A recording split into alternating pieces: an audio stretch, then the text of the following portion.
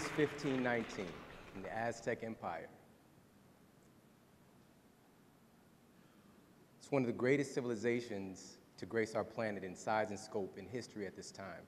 And it's also a time of ever increasing expansion by the European community into the New World.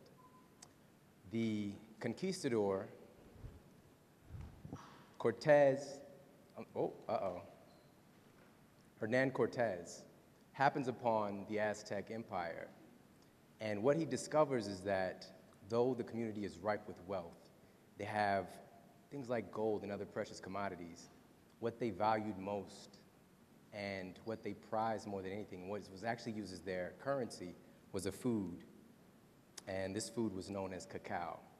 All the chocolate in the world actually comes from this food. And the Aztec people, they were not silly. They knew that there was something special about this food. And they were very advanced in their use of it. They weren't making chocolate bars, they were making drinks out of it. And here's what Cortez had to say in his own words about the drink they called chocolado. The divine drink which builds up resistance and fights fatigue. A cup of this precious drink permits a man to walk for a whole day without food. Cortez brought cacao back with him to Europe, and he's not the first person order to do so. That was actually Christopher Columbus. But it's during this time that things really took off. And it was not long before chocolate had spread all throughout Europe, and it was noted as a delicious food that brought incredible life and vitality to the body. And it was very prized in the, the French court and eventually made its way across the channel into Great Britain and launched the birthing of many of the famous chocolate houses, if anybody's ever heard of these. It was actually reigning supreme as a drink of choice over tea and coffee for a time period, which is really fantastic. Now, during this time, chocolate was still considered to be medicinal and very, very healing to the body. But where things went awry was another uh, commodity that the Europeans popularized and is actually used as a recreational drug and it's called sugar. And it even looks like some other stuff. So now, with the Dutching process, as well as the addition of sugar, this launched a huge industry, and we're still seeing the results of it today. So many different chocolate treats and confections, and chocolate cake and ice cream, and so many incredible indulgences that we've all grown up with and had a chance to experience. And the notorious chocolate bunny. Every Easter, I would try to get through one of these things when I was a kid. I never could do it. So I just thought that was interesting. So, um, so many different incredible ideas that have been brought forth using chocolate, some really delicacies, things that were pleasing to the palate as well as visually. And it really adds to the, the overall beauty of chocolate and you know humans can get very creative with our use of chocolate. It's very creative. But what was lost in all of this was the root of chocolate itself and what it meant to be gifted with this food and the heart of chocolate, which I hope to connect you with here today. Now, the Aztecs, they knew what our scientific analysis is just now proving today, that there is something very, very special about chocolate the likes of which borders on the miraculous. Chocolate, now I'm talking about the real stuff, raw cacao, C A C A O, not cocoa, okay? Cacao, the real stuff. And I'm not talking about the cooked up, boiled, broiled, sugar added, guilty pleasure. The real food is where all the magic is. Chocolate boasts the highest source of antioxidants of any known food. And to get an understanding of what that means, because people hear this all the time, which antioxidants is loaded in, what does that mean? It's antioxidation, and your body is made very largely of minerals, and it's sort of like akin to metal rusting, okay, if that makes sense. And this food is one of the highest sources of antioxidants, which helps to buffer that or block that process from taking place. So we're basically talking about anti-aging in its truest sense. So if you want to stay young, eat some chocolate. You have permission. Also flavonoids, phenols, the highest source of magnesium of any known food. Magnesium is the number one mineral found in the human heart. And it's also the number one mineral deficiency in our modern society, coincidentally. And chocolate is literally a food that can help to heal your heart. One of the highest sources of chromium, and chromium is essential for regulating your blood sugar as well as your overall metabolism, period. Um, iron has 313% of your RDA iron in just two tablespoons of cacao, cacao nibs. If anybody, who here has had cacao nibs before? Cacao. I'm preaching to the choir. so understand, it also has, but I know you're gonna learn some things you didn't know about chocolate, and hopefully you already have. Um, more vitamin C than most berries. And vitamin C is not only important for your immune system, but also for the building of your tissues, your skin, your hair, your nails. Vitamin C and sulfur transmutate to create your, your tissues, which is fantastic, and you can put a little mental note on that. Essential fatty acids, which are critical for the cell membranes, which are the brain of all your cells, so it's kind of important. Now, where it gets really interesting is that this food actually contains neurotransmitters. So we're talking about being smarter, okay? So we're talking about the synaptic connections, the neural associations that are created in your brain, having the resources to make that happen more gracefully. This food has that. It's one of the only foods that has neurotransmitters. That's just, in and of itself, a huge, huge thing. Now, I know in my heart that the Aztecs, they prize this food so much because of the hormones and the hormone precursors. Things like serotonin, which is that feel good hormone. It's that stress defense shield that gets really brutalized in our current society a lot. But when you have a good amount of serotonin in your system, everything could be breaking down around you, and you're just like, it's all good. I'll work it out. I'll be okay. But when you're zapped on serotonin, everything is just irritating as hell to you.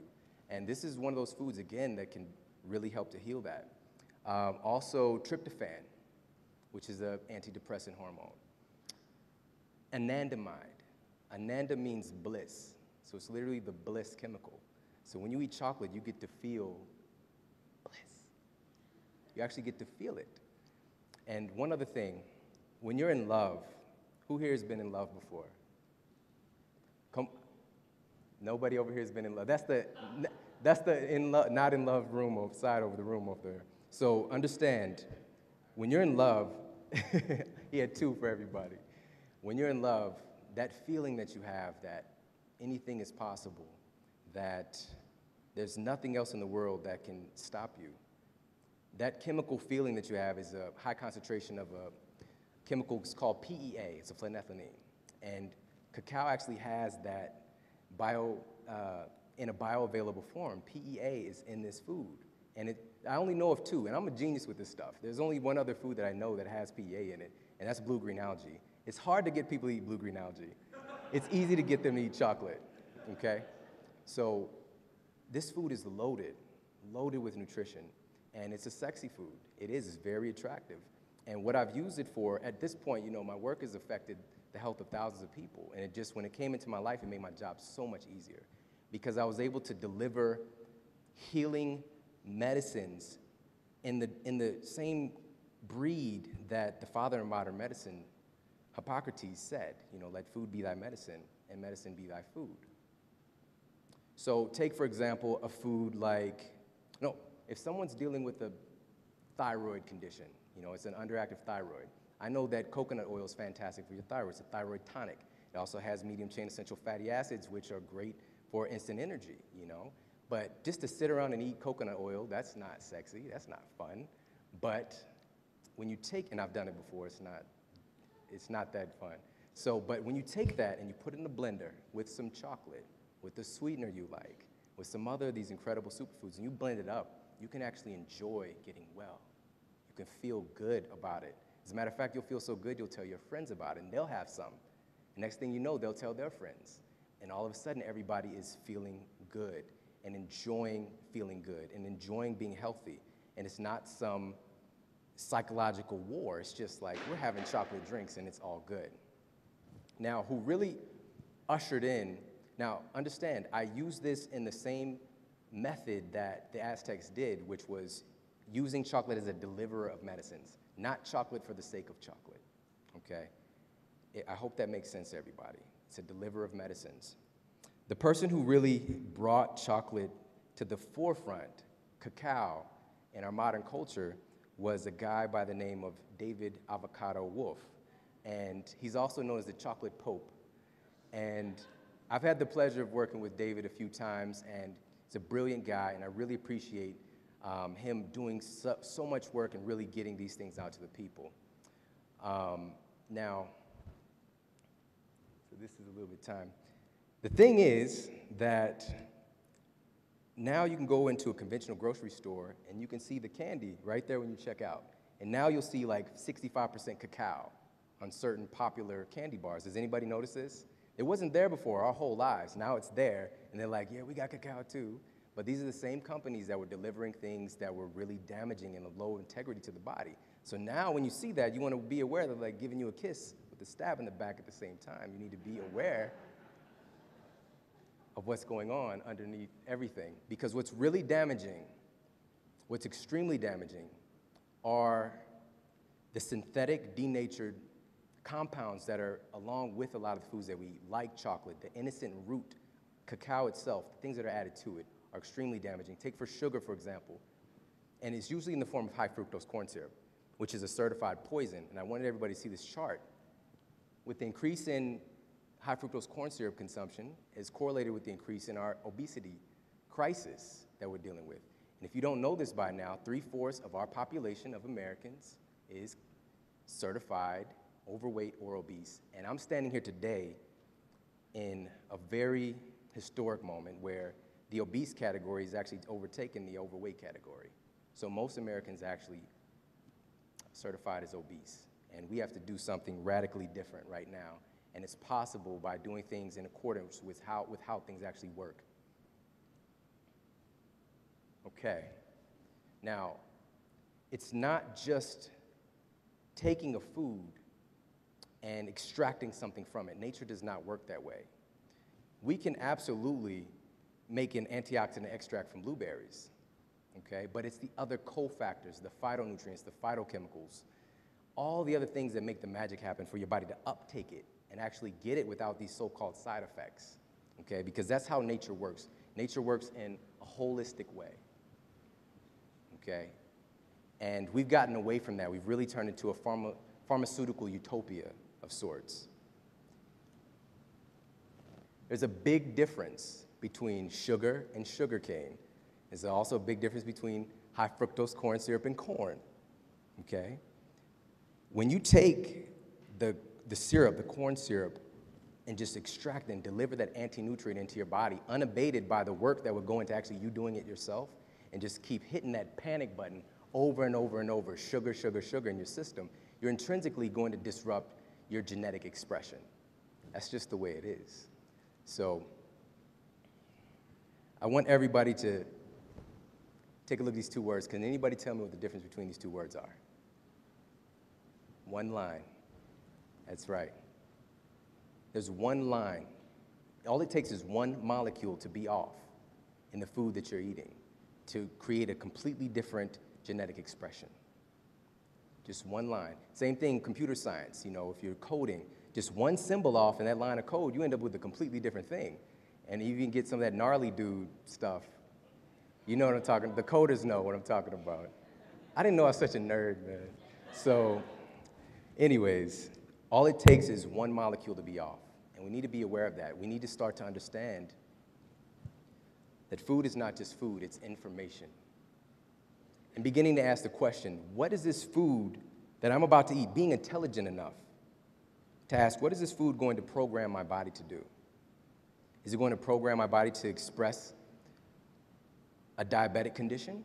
Or is it going to program my body to express a higher cellular integrity and perfect cellular replication. But you don't have to sound that nerdy about it when you ask that question, but you get what I'm talking about. Being intelligent enough to ask those questions because it will affect you. Now, I want everybody to go with me on this. I had to talk about this. We know that lo eating local is really taking off right now, and everybody's kind of cognizant of that. Now, I want everybody to take a look at the bigger picture with me for a minute and zoom out a couple of levels. We're all now world citizens.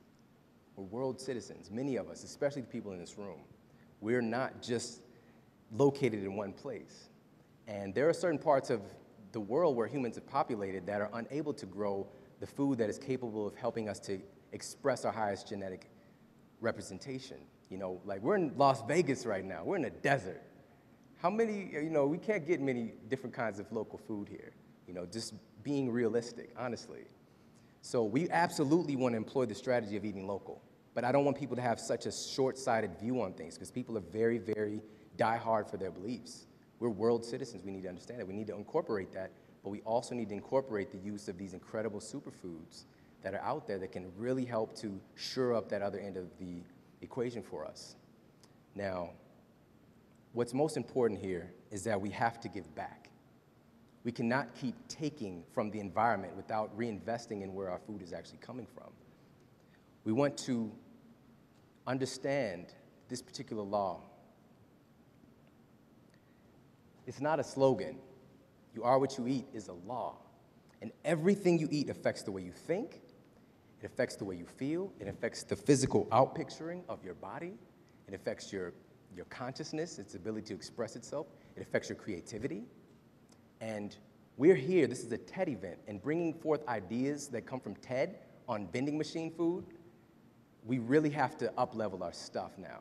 And this is a gut check for everybody. We really need to understand that the food that you eat is going to fuel your path. Just think of the, where we can be at if we were eating noble things, okay? And laying off the whatever is coming out of the vending machine.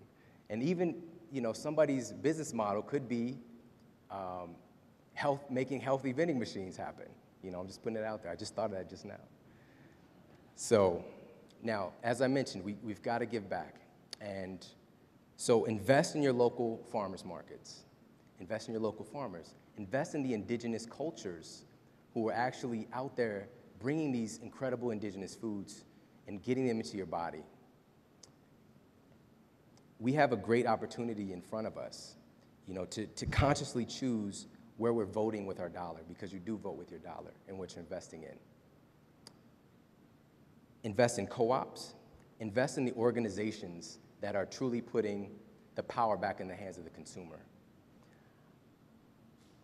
Let the story that I've shared with you of chocolate show us how to get reconnected to what's real and natural. And I took you on this journey with me, not so that we can take a look at the problem and ask, you know, how did things get this bad? How did things get this way? Not so that we can go back and try to do things right, but so that we can begin something new with a greater degree of wisdom. Thank you for your time.